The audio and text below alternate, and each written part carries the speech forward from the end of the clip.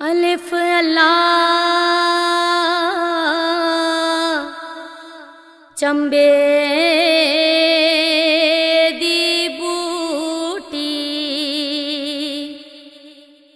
ਮੁਰਸ਼ਦ ਮਨ ਵਿੱਚ ਲਾ